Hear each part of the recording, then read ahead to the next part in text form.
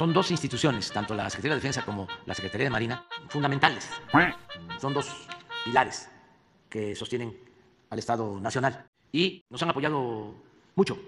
Si hemos eh, avanzado, eh, se debe a que estas dos instituciones han estado eh, ayudándonos para llevar a cabo las misiones de seguridad, de protección a todos los mexicanos y también acciones orientadas al desarrollo. El ejército tiene cinco misiones. La primera es garantizar la soberanía nacional, la defensa de nuestro territorio. La segunda misión tiene que ver con garantizar la seguridad al interior de nuestro país. Y ahora, con la creación de la Guardia Nacional, también nos están ayudando en eh, labores de seguridad pública. Lo tercero es que el ejército contribuya en todo lo que tiene que ver con el desarrollo social. ¿Qué hubiésemos hecho eh, sin ellos para distribuir más de 200 millones de dosis de vacunas por todo el territorio nacional? La cuarta misión habla de que el ejército tiene que contribuir en el desarrollo del país, en la construcción de aeropuertos, en la construcción de trenes, en la construcción de sucursales para el Banco del Bienestar, en la construcción de distritos de riego, para el desasolve de ríos, de em, desembocadura de em, puertos marítimos. Y la quinta misión, bueno, auxilio a la población en, en casos de desastre. Queremos precisamente difundir, la Secretaría de la Defensa eh, hizo un video corto de lo que es el ejército mexicano, de sus orígenes.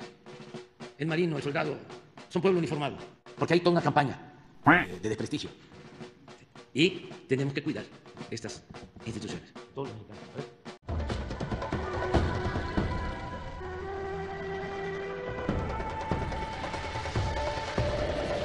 México es un universo en sí mismo.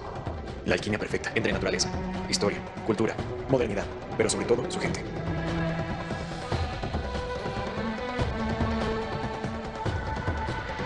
De este México venimos, a este México pertenecemos.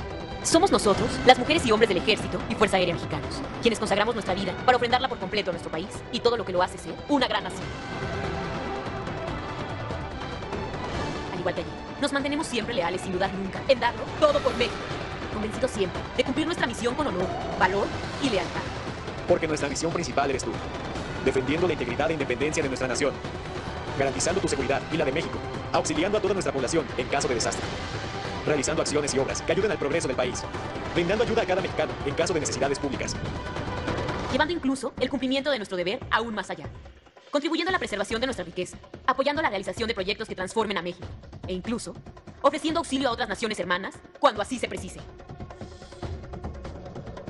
Esos somos nosotros, los soldados del ejército y Fuerza Aérea. Orgullosos del uniforme que portamos, de las insignias que nos honran, del respeto de nuestros hermanos, orgullosos siempre de nuestras raíces. Porque hoy, más que nunca, es imprescindible estar ahí, donde nuestra gente nos necesita, al lado de ellos, velando por su bienestar. Somos parte fundamental de nuestro México, garantes de la soberanía, salvaguarda de su libertad. Así que sigamos adelante, soldados de México. Que la confianza de nuestra gente es nuestro mayor tesoro. Que la cercanía con cada mexicano es nuestra convicción.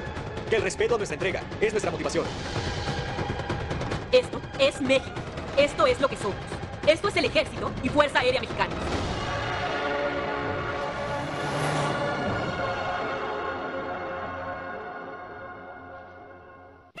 Ya lo tenemos.